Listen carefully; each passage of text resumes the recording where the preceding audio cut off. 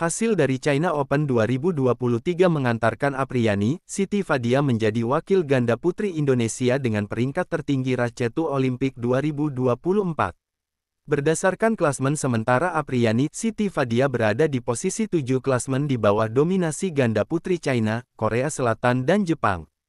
Turnamen terdekat adalah Hong Kong Open 2023 pada 12-17 September tahun 2023.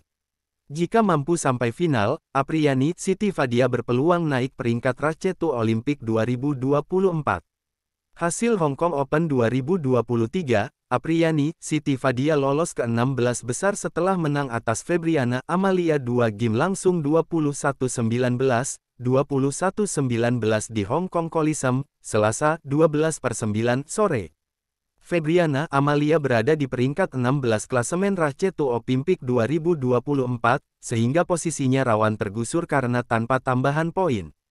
Secara umum, pemain Indonesia di klasmen Racetu Olimpik 2024 berada di peringkat belasan sehingga posisinya belum aman untuk lolos otomatis ke Olimpiade Paris 2024. Semoga pemain Indonesia mampu memberikan permainan terbaik agar lolos ke Olimpiade Paris 2024. Jangan lupa untuk subscribe, like, share dan komen BWNet channel agar terus berkembang dan bermanfaat.